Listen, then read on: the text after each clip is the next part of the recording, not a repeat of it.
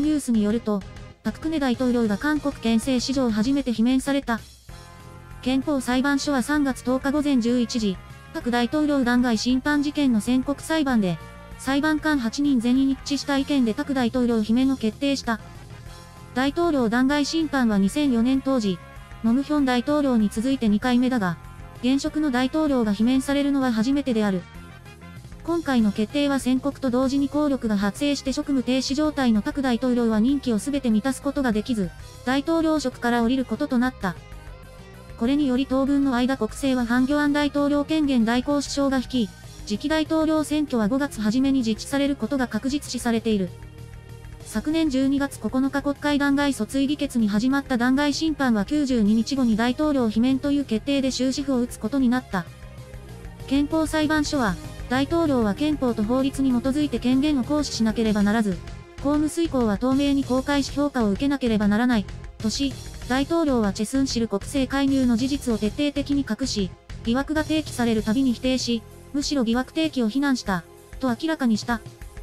これにより国会など憲法機関の憲政やメディアによる監視装置が正常に作動することができなかったと説明した。続いて、大統領はミール、K スポーツ財団設立、プレイグラウンド、KD コーポレーション支援などチェ氏の私益追求のために支援しており、憲法、法律違反行為は在任期間中継続的に行われた、と判事した。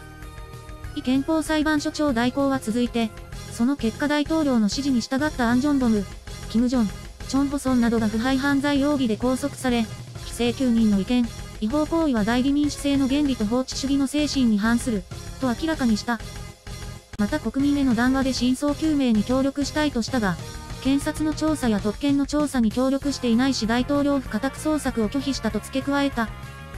憲法裁判所はまた、一連の言動を見ると法律違反行為が繰り返されて、憲法守護の意思が現れない、とし、結局大統領の意見違法行為は国民の信任を裏切ったこと、憲法守護の観点から容認できない重大な行為だと見なければならない、と罷免決定を下した。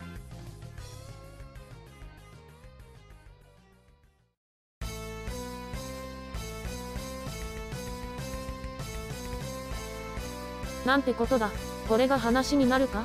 何の罪もないパク大統領様を陰謀と扇動で引きずり下ろすなんて。今日大韓民国の民主主義は終わった。今60年の歴史の大韓民国は重北左派が国を占領して、金正恩が核兵器によって石化統一になるだろう。すべての先進大国中国や他国に移住していこう。韓国はもう終わりだ。愛しています大韓民国。被疑者パククネ氏、もはやあなたは大韓民国の大統領ではなく、国を廃墟にした被告チェスンシルと共謀して国民の心を生産に台無しにした張本人に過ぎず、拘束起訴します。パククネ大統領様守ってあげなくて申し訳ありません。弾劾確定。今日は最大最悪犯のパククネに対する正義の国民の勝利です。記念日に指定しましょう。幼稚で卑怯で下品な鶏女に手錠をかけて縄で縛り、国民が罵るのを聞きながら涙を流して刑務所に引きずられていく姿をテレビ製中継で見守って大きく笑ってやる。これまで気を揉んでこの日だけを待っていた。正義のキャンドル国民の皆さんお疲れ様でした。パクサモと鶏弁護士たちのクソは弾劾認識と反省できないならもう無理だ。暴動を起こして対局機を汚さずに韓国を去りなさい。憲法裁の決定である。なぜ承服しないのか。パククネ高速捜査。最後までパククネを庇護した MBC などのメディア反逆者の生産に賛成と共感を。皆さん国民が勝ちました。主権は国民のものです。今日チキン食べに行きます。ひとまず急な日だけ消した程度のものだ。もうセウォル号と国政労団、サード配備などによる国際関係づくりに力を傾けなければならない。国内市場も混乱してどうにもならないだろう。そして今調査していたことを継続してパククネを確実に処罰しなさい。パククネももちろんプロセスは間違ったが、結婚もしなくて両親も亡くして一人一生国のために命を捧げた人である。常識的に自分のそばの人が何をするか、その本音はわからないんじゃないか。パクチョンヒ元大統領を見ても、どうか一度だけの機会を与えよう。悔しくて涙が出る。速報、パククネの肛門調査迫る。もうパククネ前大統領である。さようなら。パクサモ団体自殺しろ。ふふふ。正義は生きている。弾劾の勝者はムンジェインであり、それによって笑顔になったのはチョルラド民衆と北朝鮮キム・ジョンウンである。当然の結果なのであまりにも喜ぶのは正しくありません。冷静に、そう当然起こるべきことが起こったんだと対応するのが正しいようですね。私の生涯最高の日、正義が勝つ。全会一致と聞いて涙が炸裂したよう。裁判官の方もしまいには満場一致。これまで国民が苦労しました。特権延長を拒否したファン・ギャン。結局は無駄なあがきだっただけで民主主義の前にひざまずくのだ。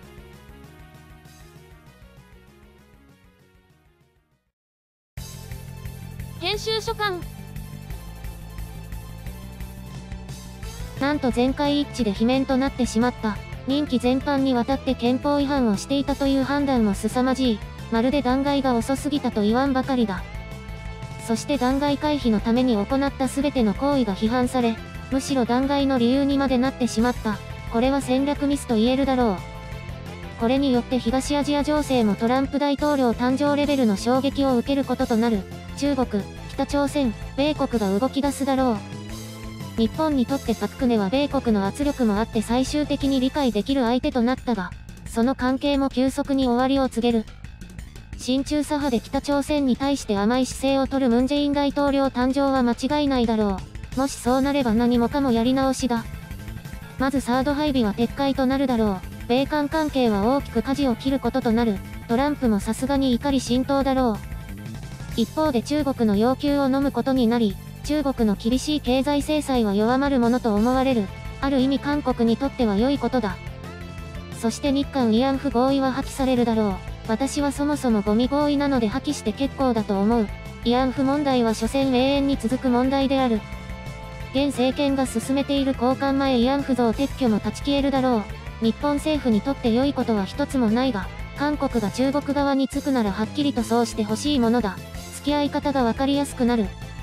北朝鮮は新大統領を歓迎し、パワーバランスは大きく変わるだろう。しかし国内の葛藤はさらに大きくなり、韓国社会の混乱は収まらないと思われる。どのみち韓国に国民的大統領は生まれない。そして今回の判決を見るとこれまでの大統領も憲法違反行為があったのではないかと疑わざるを得ない。いや、はっきり言えば全ての大統領が憲法にのっとらず違反したまま任期を過ごしたことだろう。韓国民主主義の勝利かもしれないが、実はこれまで見せかけの民主主義にしか過ぎず、ようやくこれから韓国はスタートするのかもしれない。反日親中左派政権の手によって。